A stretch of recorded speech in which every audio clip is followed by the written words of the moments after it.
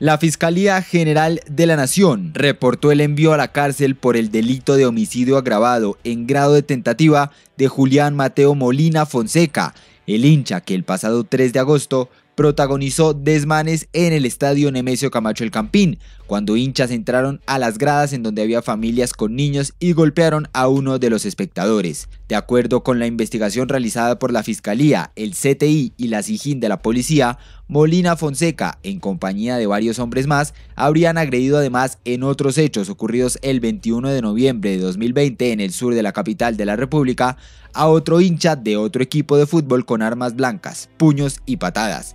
Se presume, dicen las autoridades, que en ese episodio Molina Fonseca hirió a la víctima con cuchillo cuando ésta ya estaba en el piso.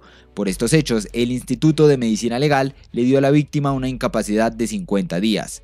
Según fuentes cercanas al proceso, la Fiscalía formó la imputación por el delito de homicidio agravado por esos hechos.